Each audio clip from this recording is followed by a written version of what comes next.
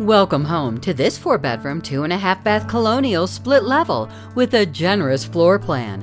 The eat-in kitchen features stainless steel appliances, center island, and sliders to the patio. The master bedroom boasts an updated full bath. The large level backyard includes a patio and deck.